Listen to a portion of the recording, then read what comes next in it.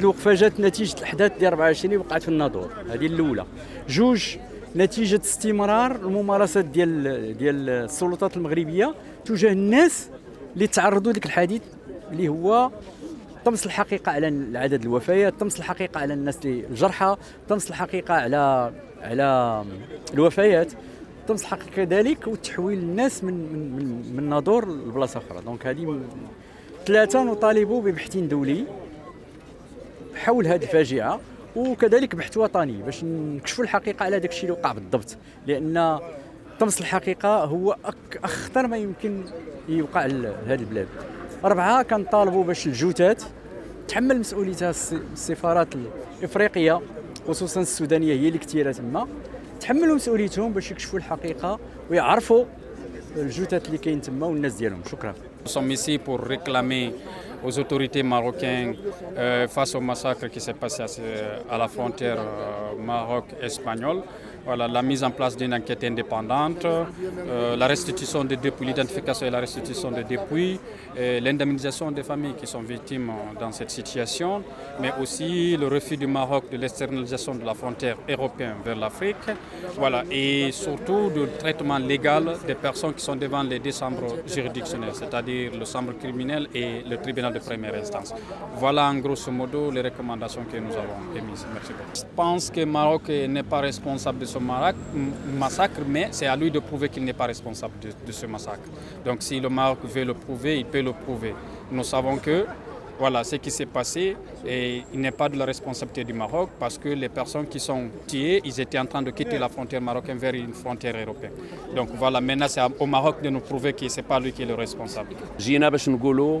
على انه هذه الجرائم اللي كتوقع ماشي هي اول مره الجرائم اللي كتوقع آه على بلادنا تجاه المهاجرين والمهاجرات الأفارقة والمهاجرين والمهاجرات المغاربة في البحار في البحر الأبيض المتوسط أو المحيط الأطلسي.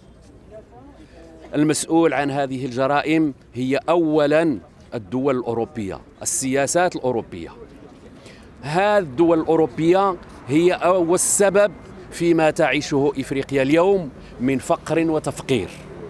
لأن الدول الأوروبية والأنظمة الأوروبية اغتنت ولا زالت تغتني من خيرات الدول الإفريقية.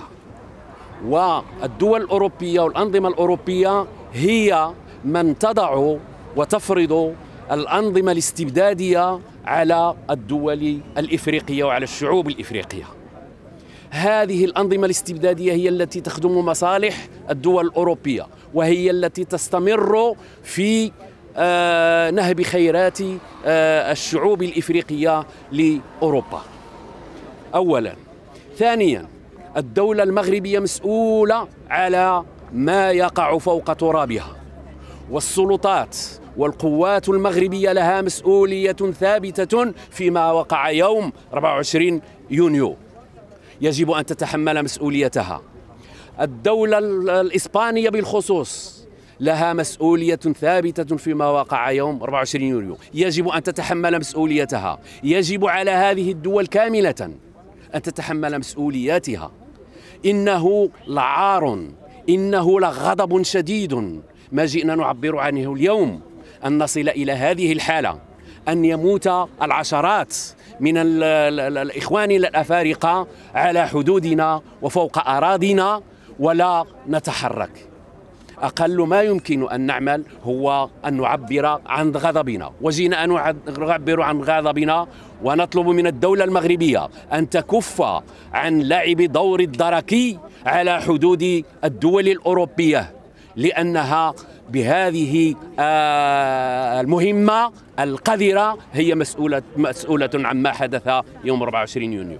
ما تنسوش تابوناو في لاشين يوتيوب وتفعلوا الجرس باش يوصلكم الجديد أيام 24 عيونكم التي لا تنام.